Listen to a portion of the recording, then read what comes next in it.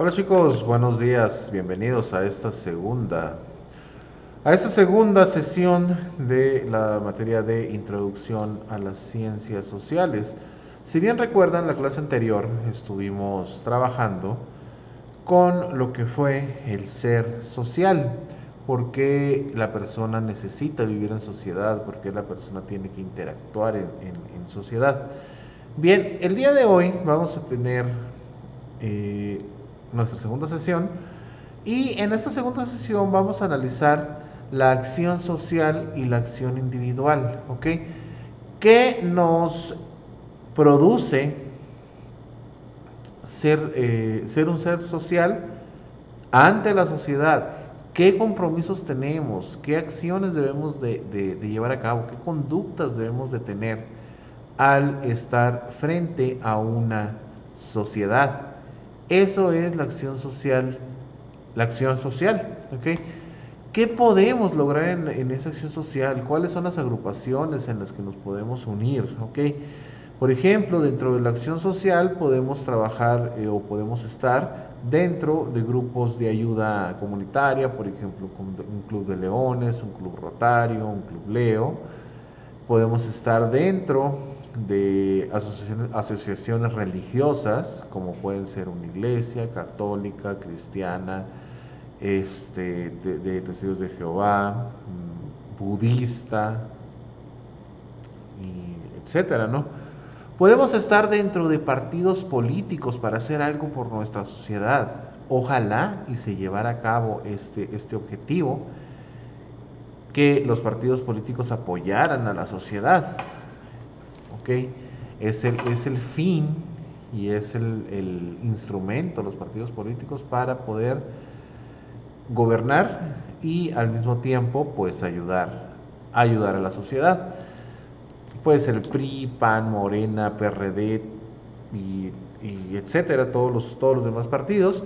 Ahí es donde se agrupa la gente. Puede ser un club social, por ejemplo aquí en Canané el Club Social Anagua, que es uno, el, el Club Campestre es otro, eh, por ejemplo, el, club este de los nahuales, de los motociclistas, son clubes sociales, ¿ok?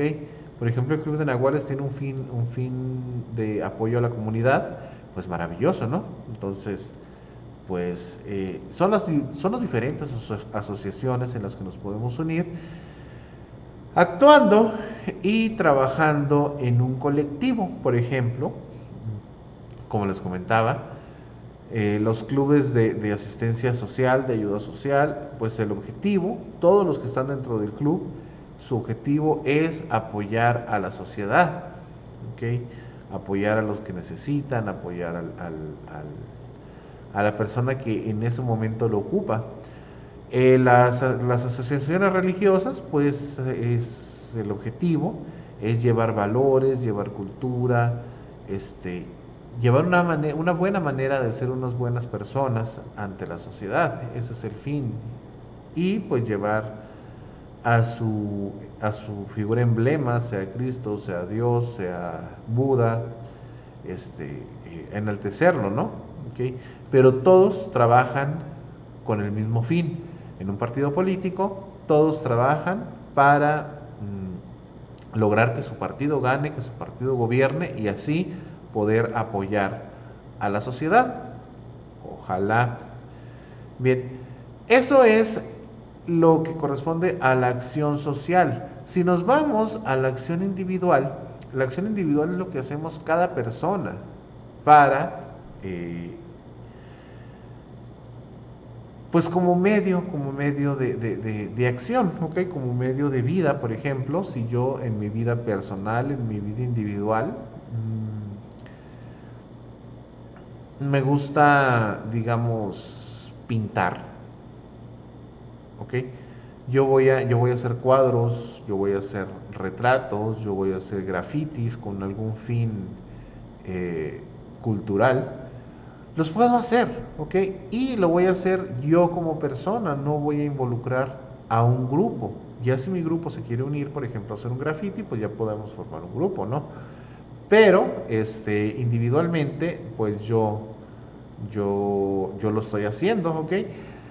Y el fin o el medio es que no dañemos a nadie cuando realizamos esas acciones. Por ejemplo, si yo pinto un graffiti, pues lo voy a pintar en mi casa. No voy, no, voy a pintar en otro lado que no sea adecuado. ¿Por qué? Porque son las normas. Las normas son mm, preceptos establecidos por la sociedad que muchas veces se convierten en jurídicas y muchas veces no. ¿ok? Por ejemplo, una norma jurídica es que no debo de robar, no debo de matar, no debo de apropiarme de propiedades que no sean mías. ¿Por qué? Porque si no va a haber una consecuencia. Las normas sociales o las normas morales son aquellas que la sociedad no te va a castigar por porque realizas algo, porque no lo realizas. Por ejemplo, nosotros tenemos por norma llegar a un lugar y decir buenos días, buenas tardes, buenas noches. Pero si no lo dices, si no, si no dices buenos días, buenas tardes, buenas noches, no te van a enjuiciar, no te, no te van a meter a la cárcel. ¿okay? Esa es mi acción individual. Les digo, por ejemplo, si yo hago eh, un graffiti, lo voy a hacer en una pared que sea mía o que tenga el consentimiento, ¿ok? Por norma moral. Porque, pues, eh, mucha gente hace, hace pintas donde no debe y eso, pues, es un delito. Muchas veces están actuando en contra de la sociedad. Bien, si por ejemplo a mí me gusta escuchar la música a un volumen alto, ese es un precepto mío, ese es, un, ese es una, preferencia que a mí me gusta. Y puedo escuchar mi música alta siempre y cuando no lastime o no moleste a mi vecino o a otra persona.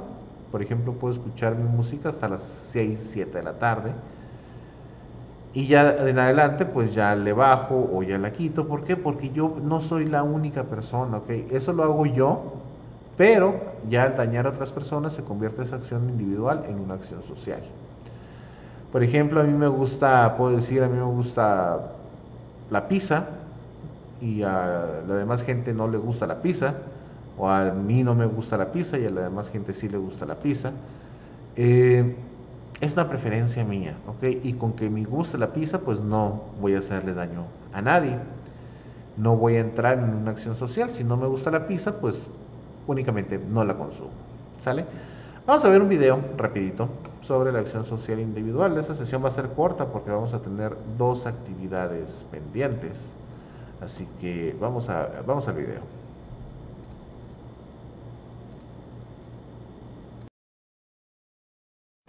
Acción social y acción individual. La sociedad está conformada por individuos. A su vez, estos poseen una serie de conjunto de valores, creencias e ideas y tienen la capacidad de hacer ejercer su voluntad de manera libre, razonada y consciente, guiada por este conjunto de elementos. En nuestra vida cotidiana, los seres humanos desarrollamos numerosas acciones, algunas veces razonadas, otras veces se reproducen una y otra vez porque forman parte de nuestra vida diaria. Veamos esto con más detenimiento. Empecemos con la acción individual. Esta es aquella que deriva de los valores, de las creencias e ideas personales de cada una de las personas. Además, tiene la capacidad de hacerse de manera razonada, consciente y libre. Su realización afecta únicamente a la persona que la lleva a cabo y su propósito es únicamente para quien la realiza. También se consideran acciones individuales a aquellas que se realizan de manera mecánica, sin que nadie tenga influencia sobre ellas, como por ejemplo caminar, abrigarte, cruzar la calle, subir una escalera, buscar resguardo o abrir un paraguas para protegerte de la lluvia, amarrar los cordones de tus zapatos, levantarse temprano, hacer tus tareas o pendientes del día, entre otras. Existen también acciones individuales que se realizan rodeados de personas o acompañados. Por ejemplo, cuando tomas el transporte colectivo. Si bien vas acompañado de más personas, incluso si van al mismo lugar, cada uno tiene un objetivo distinto, lo que lo convierte en una acción individual. Hacer fila para comprar algo en algún lugar o entrar incluso a algún lugar también es una acción individual que se realiza rodeado de personas. Comprar un boleto para el cine, entre otras. Vamos ahora con la acción social. Se les llama así cuando las acciones que se realizan influyen en el contexto o el entorno social en que se desenvuelve el individuo o de alguna manera son influidas por otros individuos. Es decir, estas acciones son aquellas que poseen un sentido o significado no solamente para el que las realiza, sino para los que están a su alrededor o de cierta manera afecta a su conducta. Veámoslo más a detalle. Una acción es social si el individuo que la realiza considera las expectativas y las respuestas de otros individuos en sus actos.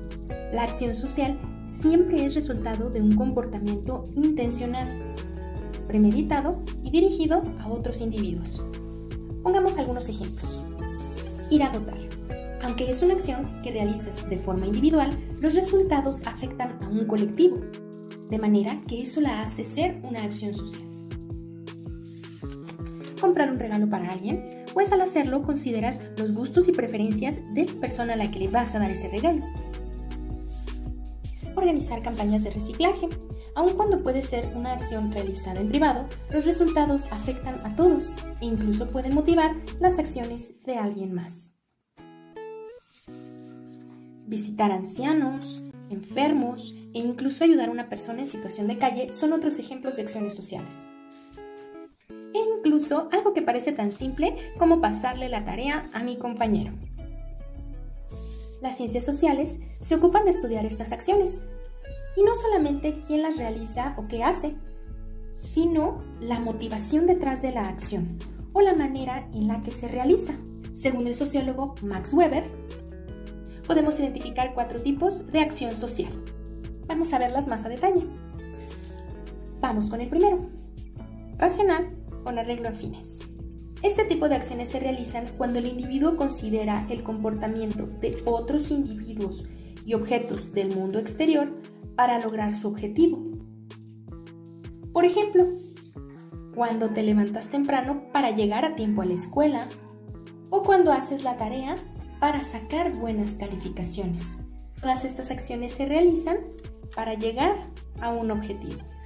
Vamos con otro tipo racional con arreglo a valores.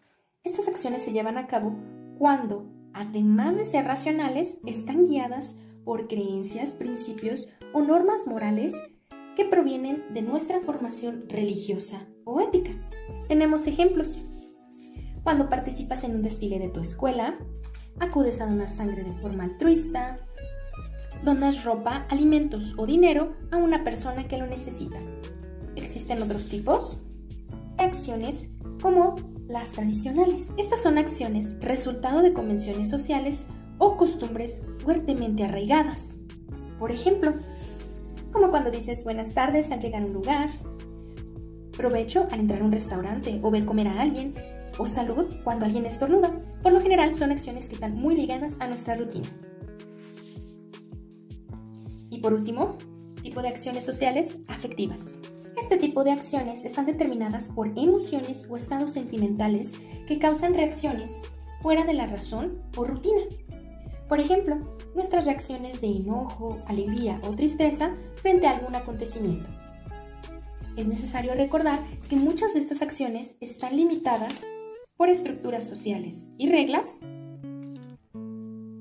bajo las cuales nos regimos todos. Antes de terminar, es necesario aclarar que existen acciones que pueden considerarse individuales, pero un pequeño cambio las convierte en acciones sociales. Por ejemplo, pero una carrera universitaria es una acción individual, pues se toma bajo nuestras condiciones, gustos y preferencias. Sin embargo, si tomamos en cuenta a nuestra familia, amigos o pareja en esta elección, se convierte en una acción social hacernos algún cambio de look es una decisión individual que se convierte en una acción social cuando preguntamos opiniones a otros y las tomamos en cuenta para la elección final. Es decir, la manera en que se realiza la acción la convierte en algo social. En resumen, las acciones pueden ser individuales si te afectan a ti y están motivadas por factores internos.